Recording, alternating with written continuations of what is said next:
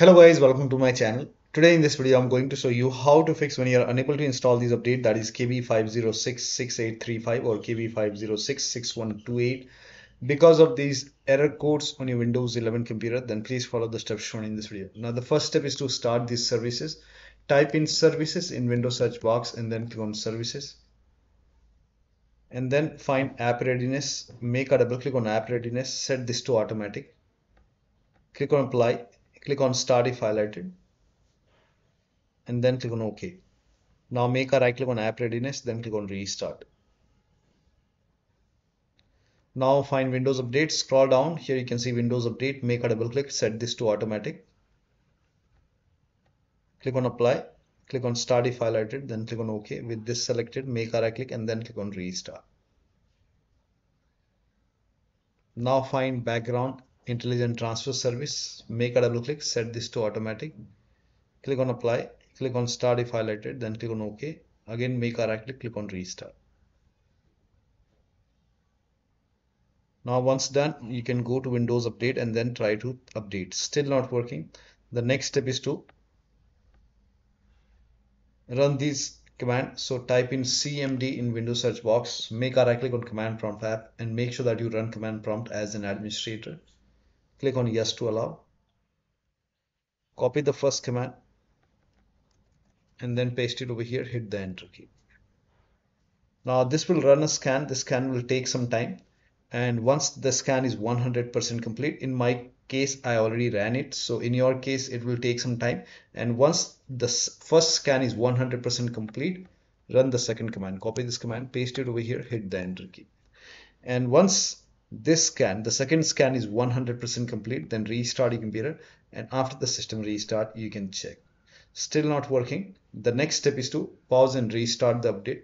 So you can go to windows update. First of all if you see retry option hit retry and then check. If that does not work in that case you can pause the update. You will see pause option over here. Click on pause. And once paused now resume updates. And then you can check still not working. The next step is to use Microsoft Update Catalog. Now for this you can open this link in a browser. It will take you to Microsoft website. On this website write down the name of the update. That is KB5066835 over here. And then click on search. And now first of all type in WINVER WinVer in Windows search box. Click on WinVer over here.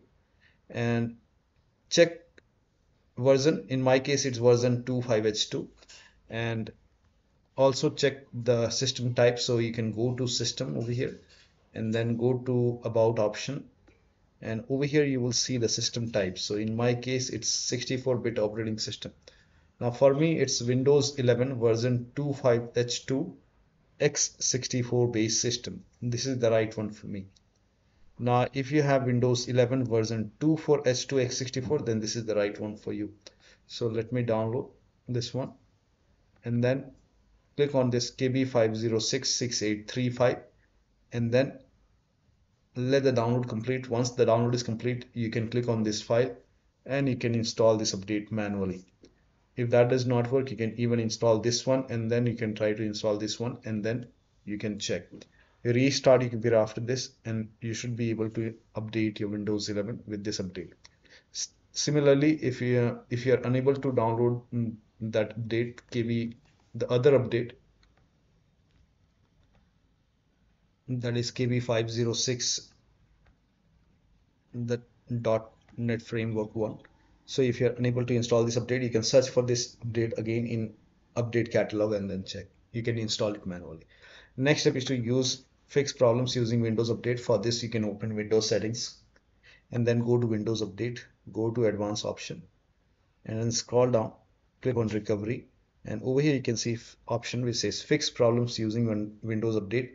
This will reinstall your current version of Windows, your apps, files and settings will be preserved. So click on reinstall now. This process will take some time.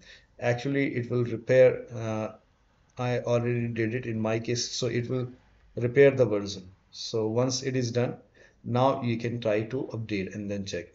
This process will take some time.